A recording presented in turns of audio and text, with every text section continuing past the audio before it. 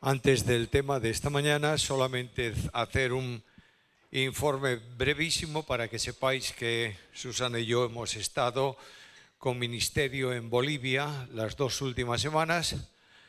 Eh, había algún conflicto, eh, sobre todo en Santa Cruz, donde nos impedía movernos de un sitio para otro, calles cerradas, etcétera, etcétera pero cada noche los hermanos hicieron un esfuerzo grande para venir en bicicletas, en moto, en lo que podían, y era todo un espectáculo ver la calle donde se celebraban las reuniones con motivo del 100 aniversario de la obra evangélica en Bolivia, ver toda la calle llena de bicicletas amontonadas a los lados y la gente viniendo a las reuniones. Lo que sería impensable aquí es posible allí. Una simple anécdota de eso es que uno de los días, el miércoles de la semana, teníamos comprometido una conferencia para alumnos y profesores en la universidad y no podíamos pasar. Era absolutamente imposible. De modo que le dijeron al rector de la universidad, no es posible, olvídate. Y él dijo, no me olvido, lo vamos a arreglar y habló con el decano de medicina y ¿qué ocurrió? Mandaron un médico y una ambulancia. De manera que subí a la ambulancia y me llevaron, no hubo ningún problema y llegamos para esa reunión. De ahí estuvimos en Cochabamba con una impresionante cantidad de eh, personas todas las noches. Dios hace su obra. Nosotros no tenemos ningún mérito más que el privilegio de poder servirle. Mañana, Dios mediante, tempranito por la mañana, Sara, Susana y yo saldremos para Israel, donde vamos a estar toda esta semana con los equipos de televisión eh, gallega, el programa Nacer de Nuevo, para grabar una serie de programas ahí en Israel, mm, en el lugar donde ocurrieron los hechos. Pedimos oraciones para que el ministerio sea eficaz y efectivo en las manos del Señor para su gloria. Evangelio según Marcos, capítulo 1. Leemos de los versículos 35 al 39. Evangelio según Marcos 1, versículo 35. Es un relato de los muchos que el Evangelio tiene acerca de Cristo y dice así. De madrugada, cuando estaba aún muy oscuro, se levantó Jesús, por supuesto, salió y se fue a un lugar solitario y allí se puso a orar. Simón y los que estaban con él salieron en busca suya y cuando le encontraron le dijeron, todos te buscan. Él les dijo, vamos a otro lugar, a los pueblos vecinos, para que predique también allí, porque para esto he salido. Salió pues a recorrer toda la Galilea, predicando en las sinagogas de ellos y expulsando los demonios. Estamos haciendo un recorrido sobre temas de una serie que es eh, identificación con Cristo. Vimos el primer día lo que es en sí la identificación con Cristo y ahora iremos desarrollando en la medida en que el ministerio lo permita distintos aspectos que tienen consecuencia o, se producen como consecuencia de la identificación con Cristo.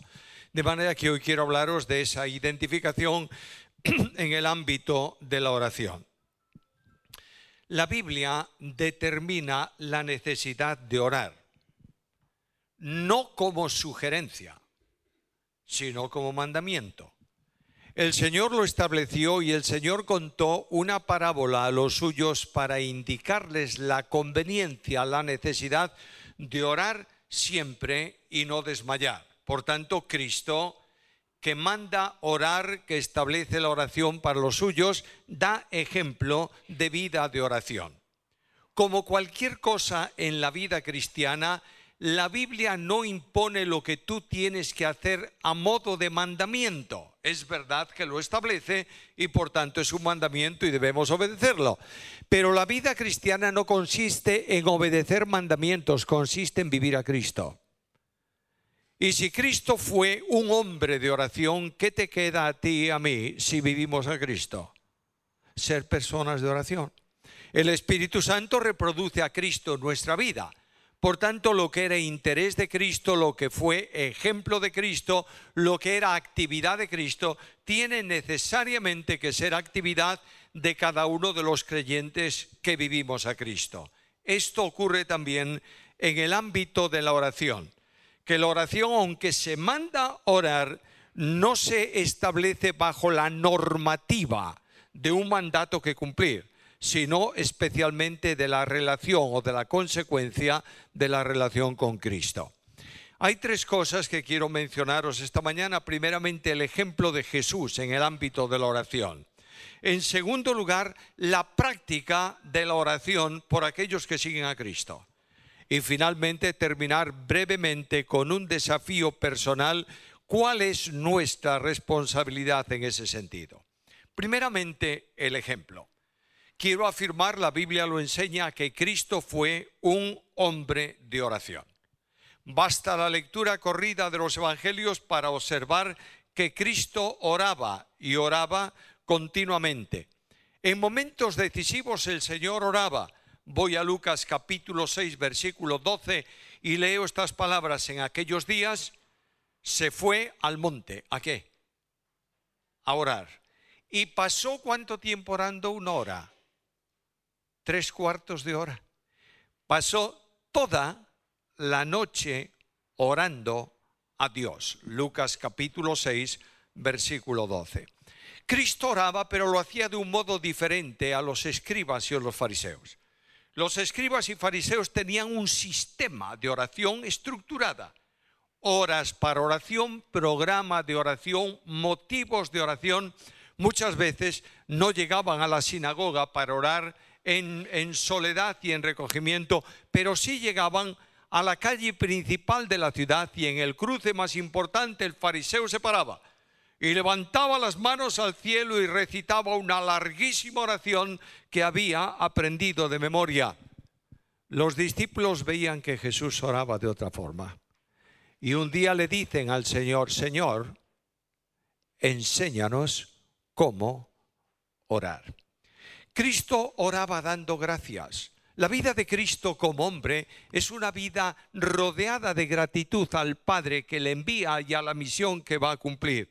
Por eso el Señor paraba en un momento especial, por ejemplo, en la resurrección de Lázaro, y decía, Padre, te doy gracias porque me has oído.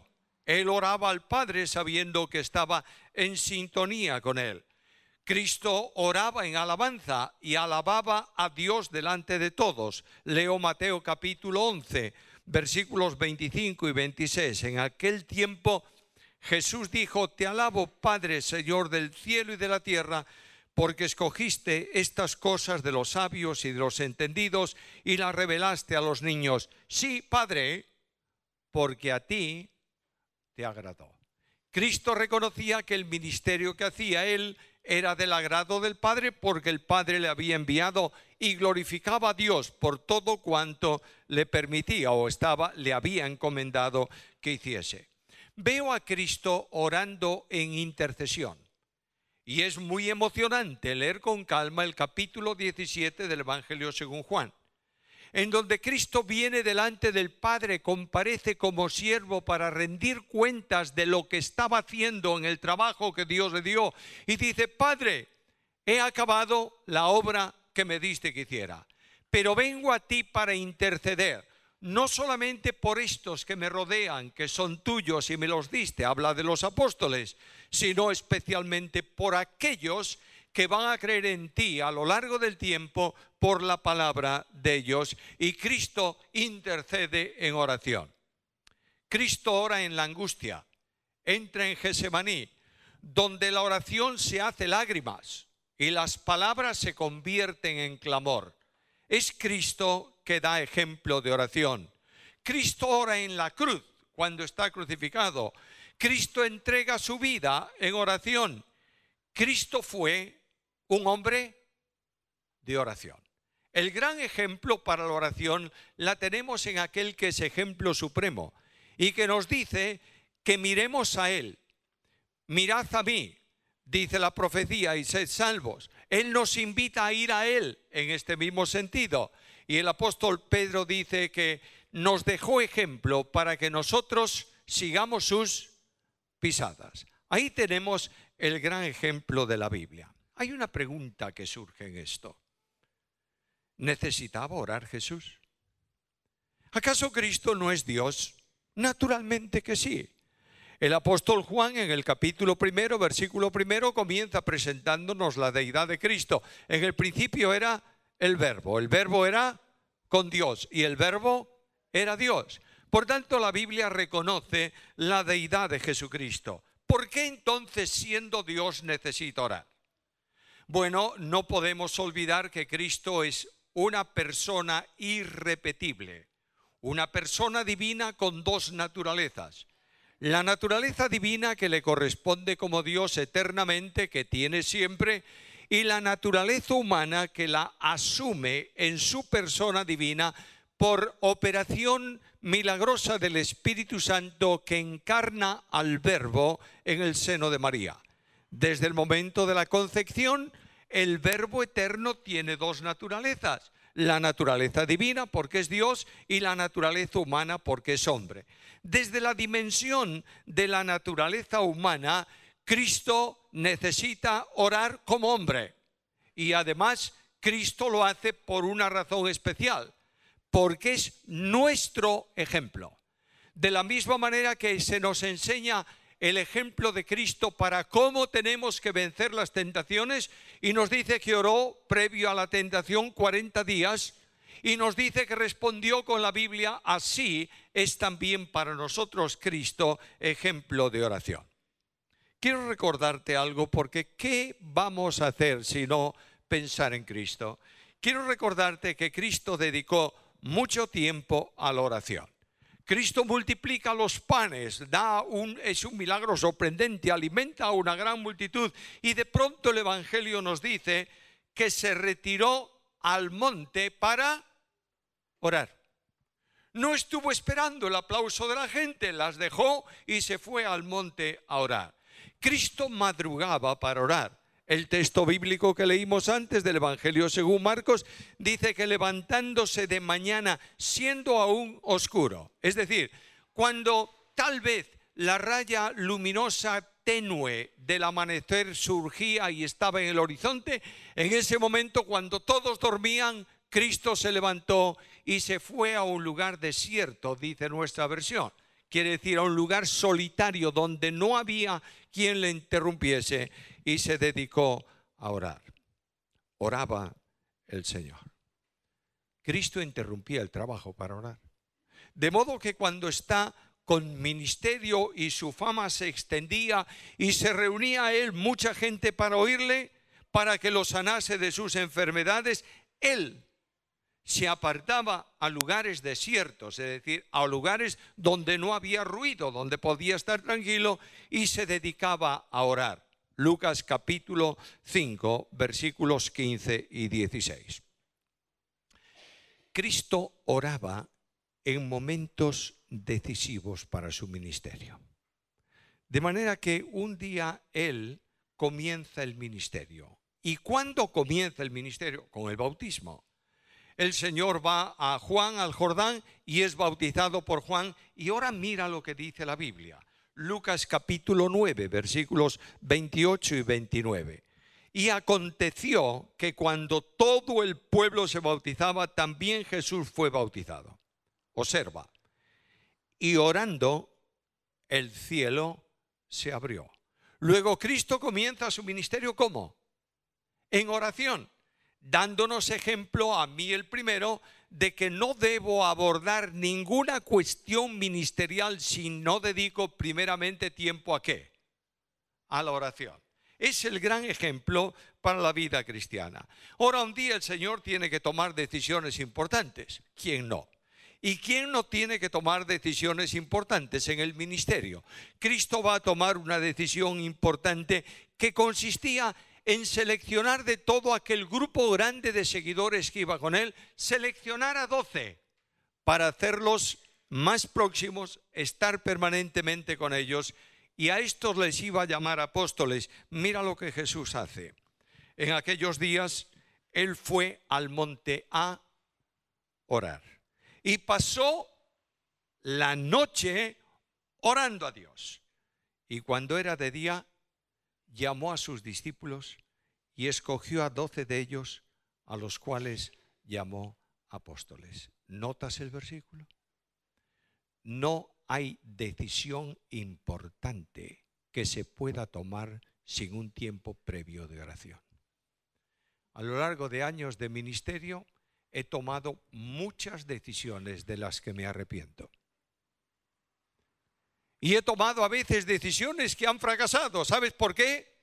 Porque he estado ocupándome de la decisión y cómo tenía que hacerla, pero no dediqué el mismo tiempo a orar. El Señor me está enseñando algo importante y enseña al pueblo de Dios en la actualidad. No hagas nada en la obra de Dios si primeramente no has dedicado tiempo a orar por ese proyecto, por esa cosa. Cuando Cristo tenía delante el término de su ministerio, el Señor va caminando con los discípulos hacia Jerusalén y de pronto dice el texto bíblico que les dijo el Hijo del Hombre va a ser entregado en manos de pecadores, les habla de la cruz, no entienden nada los discípulos, pero de pronto hay un monte, el monte de la transfiguración, y el Señor dice el texto bíblico que aconteció como ocho días después de estas palabras, que tomó a Pedro, a Juan y a Jacobo y subió al monte a orar, y entre tanto que oraba, la apariencia de su rostro se hizo otra y su vestido blanco y resplandeciente. La cruz está ahí, detrás del monte. ¿Qué hace Jesús? No se lamenta, no genera tensión, no produce inquietud en los suyos, dedica el tiempo a orar. Cristo oraba en la agonía.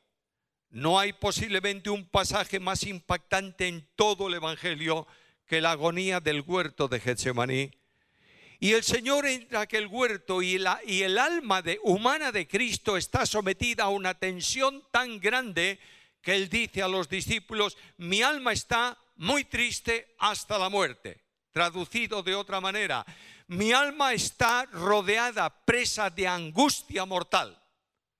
Y en medio de esa situación angustiosa en la que Cristo está, dice el texto bíblico que estando en agonía, oraba más intensamente. La oración del huerto es una oración con lágrimas, con gemido y con clamor, dice la carta a los hebreos.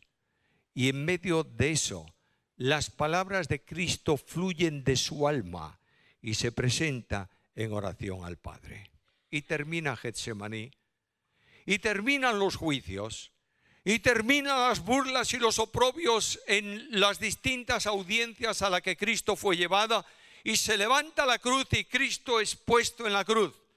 Y en medio de ese tiempo de, de la cruz, de pronto el día desaparece, las nubes, las tinieblas cubren la faz del Calvario, del Gólgota, y hay silencio absoluto en el crucificado, porque como oveja delante de sus transquiladores, enmudeció y no abrió su boca. Y de pronto pasan las tinieblas. La angustia de la separación con Dios a causa del pecado termina. Y dice el texto que entonces Cristo oró. Padre, Dios mío, Dios mío, ¿por qué me has desamparado? Los expertos en hebreo, yo no soy experto en hebreo ni muchísimo menos, dice que esa frase puede ser traducida no solo interrogativa, sino admirativamente. Y probablemente lo que Cristo dijo ahí en la cruz, cuando vienen ya las horas de, luz, cuando ya la comunión con el Padre se restablece, cuando ya ha sido tratado como maldición para que nosotros seamos hechos bendición de Dios en Él, Cristo dice, Dios mío, Dios mío, ¿por qué? Ahora sé, ¿por qué me has desamparado? Cristo ora en los momentos previos a su muerte. Y las horas terminan y Cristo va a dar su vida voluntariamente. Yo quiero que si tienes tiempo, releas un poco aquella, las observaciones, la descripción de la muerte de Jesús y te encontrarás con un problema. Un problema que indica el control que Cristo tenía de su vida. Cristo dijo, nadie me quita la vida. Tengo poder para ponerla, tengo poder para volverla a tomar.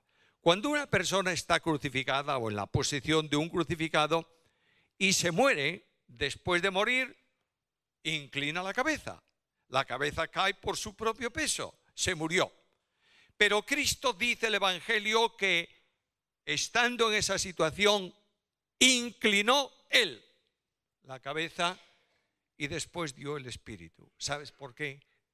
Yo tengo pleno control del asunto. El gran Señor de señores, el Rey de reyes, muere en la cruz. ¿Y cómo muere? Escucha, lo hace orando. Padre, en tus manos encomiendo mi espíritu. Ahora yo me acerco de nuevo al Evangelio. Permitidme que este primer punto sea bastante más extenso. Voy a reducir el segundo y voy a hacer brevísimo el tercero. Cuando voy de nuevo a la vida de Cristo, descubro que Cristo oraba conforme a la voluntad de Dios.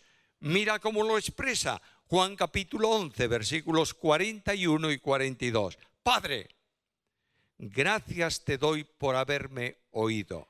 Yo sabía que siempre me oyes, pero lo dije a causa de la multitud que está alrededor, para que crean que tú me has enviado. Esto todo, Señor, es el proceso de un programa que a ti te ha agradado y que yo estoy ejecutando en tu nombre y para tu gloria. Por tanto, así lo expresa el Señor. El Señor puede venir a orar sabiendo que ora conforme a qué?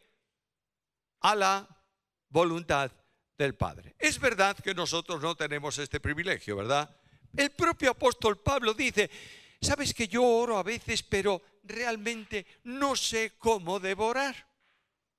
A veces pido al Señor algo y el Señor me dice, no, Pablo, eso no va por ahí. Un día Pablo le dice al Señor, Señor, tengo una espina en mi carne, un mensajero de Satanás que me abofetea, sácalo de mí. ¿Ora Pablo correctamente? ¿Ora conforme a la voluntad de Dios? No. De modo que el Padre le dice, bástate mi gracia. No es lo que tú quieres, es mi gracia.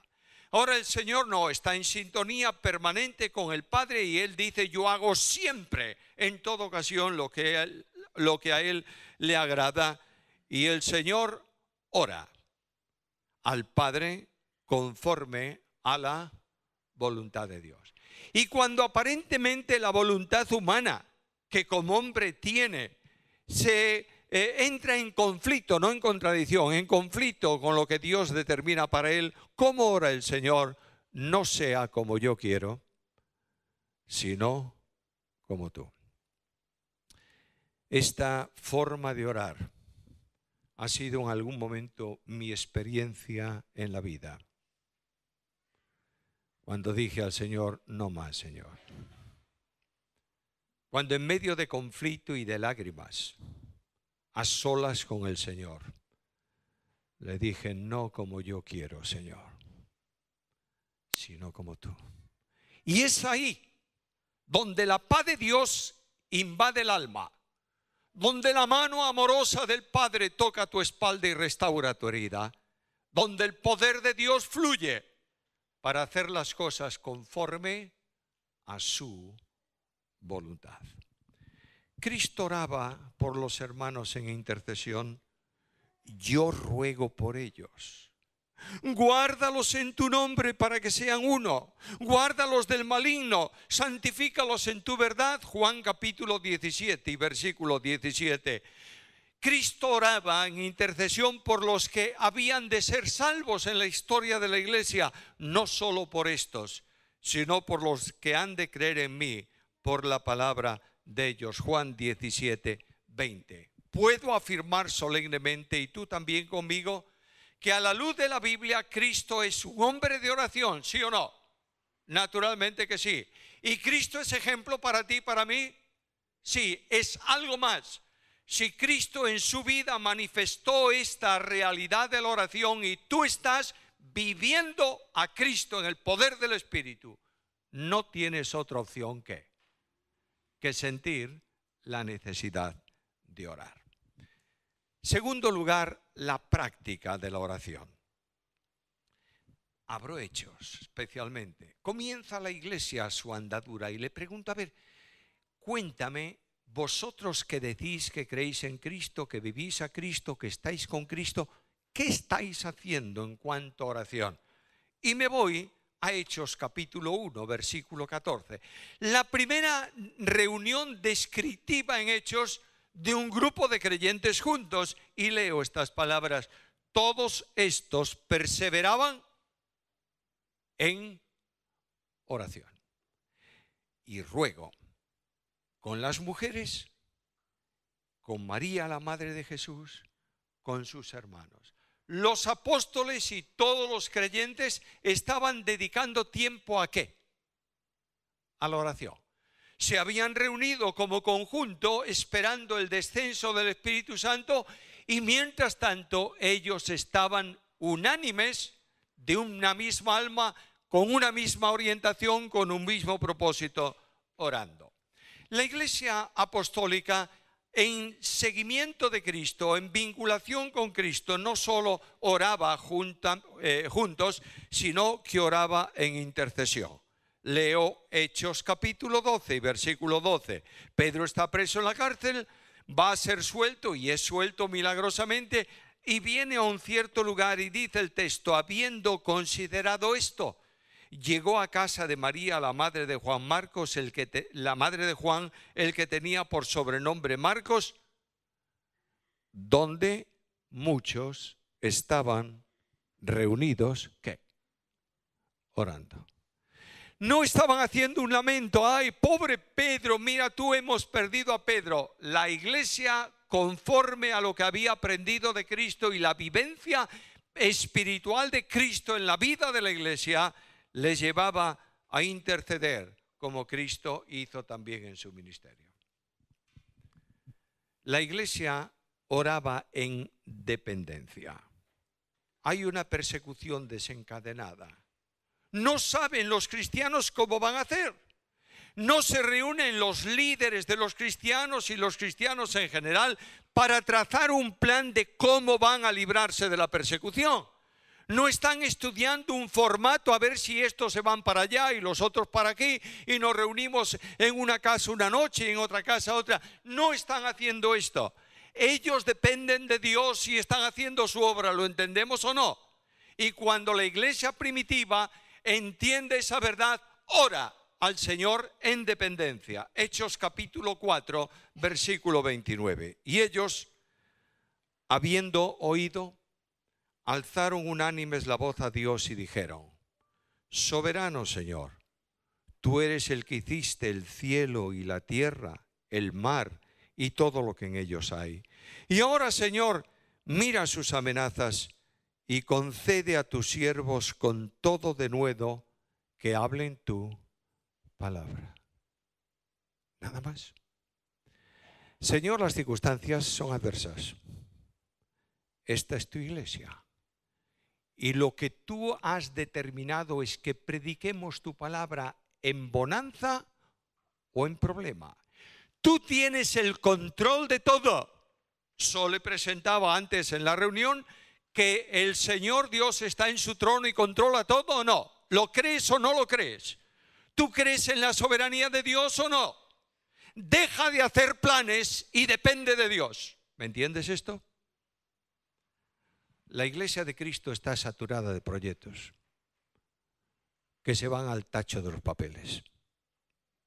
Necesitamos una experiencia directa del poder de Dios.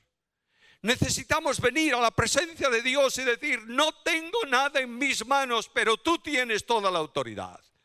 Necesitamos decir, tú eres el soberano y yo estoy aquí para hacer lo que tú me digas. Cuando esto se produce, los recursos de la gracia fluyen en la vida de los creyentes. Y la Biblia enseña que Él multiplica las fuerzas a quién? Al que no tiene ningunas. Cuán necesario es que en nuestros días tengamos manos vacías. Quisiera que estuvierais en experiencias de Hispanoamérica, en donde los creyentes dicen no tenemos nada, pero tienen a Dios. Esta es la gran diferencia con nuestro mundo. Nosotros en nuestro mundo decimos que tenemos todo y Cristo viene a la iglesia hoy para decir, eres un pobre, un ciego y un miserable. Porque tú tienes fuerzas y te has enriquecido. Y yo que soy el poderoso estoy a la puerta de la iglesia llamando. Necesitamos un cambio en la iglesia, hermanos. Urgente, urgentísimo. No consiste en caminos que nosotros trazamos. Consiste en la manifestación poderosa de Dios que sacude a su pueblo, que interviene en salvación que conmueve corazones, que llama vidas, que restaura caídas, que sana enfermedades no solo físicas, sino espirituales. Solo en dependencia de Dios. Los apóstoles hacían esto todo, ¿sabes por qué? Porque Pablo decía la razón. Porque para mí el vivir es Cristo. ¿Lo entendemos o no? Cuando vives a Cristo en el poder del Espíritu, funcionas como Cristo, con las limitaciones humanas propias del, hombre. Voy a Hechos de los Apóstoles y encuentro a los líderes, los apóstoles, enseñando a los pastores de la iglesia a orar por la iglesia.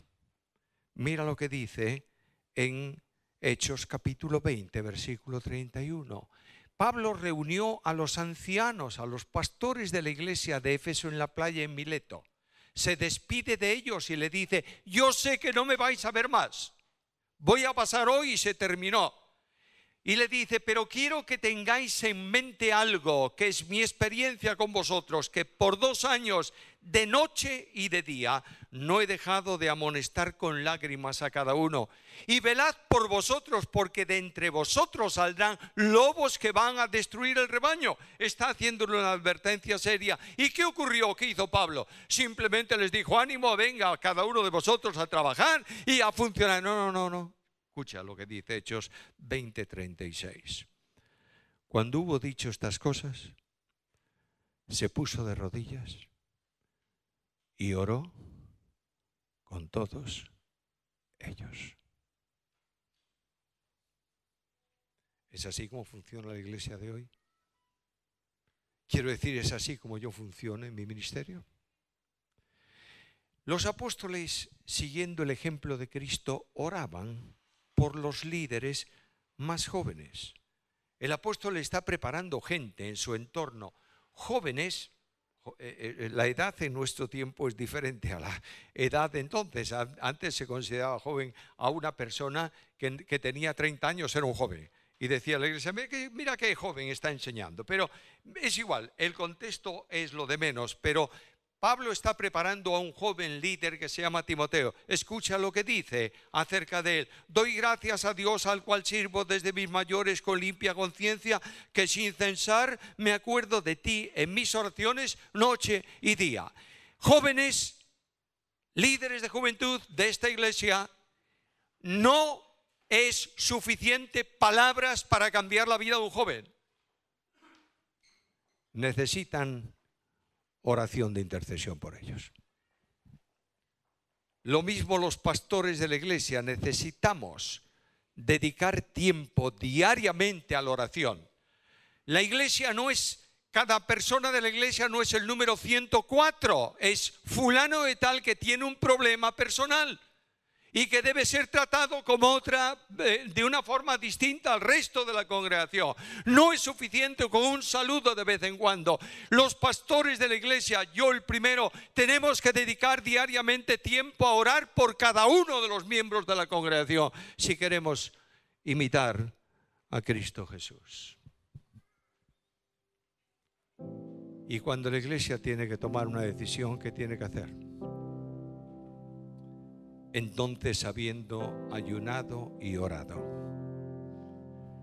les impusieron las manos y los despidieron.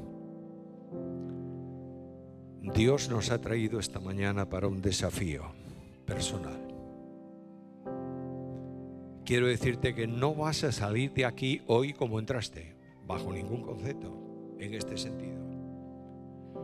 Quiero decirte que tú has venido aquí, pero Dios te dice ahora tienes que tomar una decisión personal tocante a la oración. Y esta iglesia amada necesita gente que ore no solo en los programas que yo apoyo 100% de oración, en la individualidad de la cámara secreta, a solas con Dios, doblando tus rodillas y diciendo al Padre del cielo, Señor, necesito de ti. Dios nos llama esta mañana a que comencemos a orar por la obra suya aquí en esta congregación y que digamos, Señor, es tuya la obra, ayúdanos a ser instrumentos en tus manos. Es necesario orar en intercesión por los hermanos de la iglesia. Es necesario orar por la obra misionera. ¿Cuánto tiempo hace que no se ora por un misionero, no importa quién sea. Tú sabes que esta mañana, en su horario de esta mañana, hay misioneros que se han levantado y no tienen que comer, ¿lo sabes hoy? ¿Estás orando por ellos? Por personas que son oprimidas por el testimonio del Evangelio. Oramos por ellos. Por nuestras familias un hijo puede escaparse de tu casa, pero nunca puede escaparse de tus oraciones. Y esto es vital en la vida cristiana. Dios nos llama a orar por nosotros mismos, por vidas ejemplares. Porque podamos decir al Señor, Señor, para gloria de tu nombre, que el mundo vea en mi vida a Cristo reflejado que no sea simplemente una, un postulado, un propósito, una afirmación teológica desde un púlpito, que el mundo esté impactado por la vida de creyentes que están cambiados por el poder de Jesús y viven a Jesús. Necesitamos orar. Un profesor de una universidad hace muchos años tenía mucho interés, tenía curiosidad de escalar un monte alto, muy alto. Y él preparó todo el viaje, contrató un guía para llevarlo por el monte y comenzó la escalada. Era un día de mucho viento. El guía iba delante del profesor poco a poco y cuando ya llegaron a la cima al sendero donde estaba el alto del monte, el guía se puso a un lado e invitó al profesor a que llegase él el primero a la cima de la montaña. Y aquel hombre cuando pisó la cima de la montaña y vio todo cuanto había por delante, se emocionó y se puso en pie. Y empezó a decir, qué maravilla. E inmediatamente el guía lo agarró de la chaqueta y le dijo, de rodillas, Señor. Aquí con el viento, solo de rodillas. Hay viento hoy que está soplando en tu vida. Ponte de rodillas. Dobla tus rodillas delante de Dios esta mañana. No salgas de aquí de la misma forma que entraste. Di al Señor, Señor, quiero dedicar desde hoy en adelante cada mañana un poco de tiempo a orar. Quiero, Señor, formar parte de un grupo de personas de esta iglesia que estemos orando día a día para gloria de tu nombre mientras tú bendices y haces tu obra. Y yo voy a pedirte que si el Señor te está llamando a orar, mientras alabanza nos conduce al último himno. Sal de donde estás, ven al grupo de intercesores que estará aquí delante y dile, cuenta conmigo. Y que ellos van a tomar nota de tu nombre y vamos a estar estableciendo algo simple y sencillo para dentro de un par de semanas que te ayuden a cumplir tu programa de oración. Oramos. Padre nuestro y Dios nuestro, ayúdanos a vivir a Jesús, Señor. Perdona nuestro ritual,